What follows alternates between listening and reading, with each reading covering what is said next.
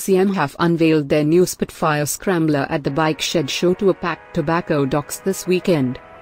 It comes just weeks after CCM allowed MCN to see plans for the new machine and follows on the success of the Spitfire that was released in limited numbers earlier this year.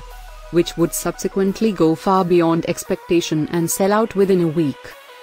So they decided to produce another Spitfire model, but this time with a scrambler focus. And boy does it look good. The new machine features the same 55 bhp 600cc engine and frame, but has a revised rear subframe and features a 17-inch rear wheel instead of the 19-inch number that's found on the Spitfire. The bike also comes with the addition of a skid pan to protect the engine, raked up bars and an off-road styled scrambler mudguard. Not forgetting of course, the new upswept exhaust. The price of the new machine will be £8,995 or £9,247 on the road.